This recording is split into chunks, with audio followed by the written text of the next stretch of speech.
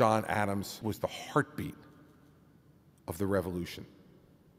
He was its soul, he was its voice. Adams knew he was writing for history that someday someone would read this letter from him to his wife, and that generation that he would never know, never see, that he wanted them to hear it directly from him. And this is what he wrote. He wrote, You will never know how much it cost the present generation to preserve for you your liberty.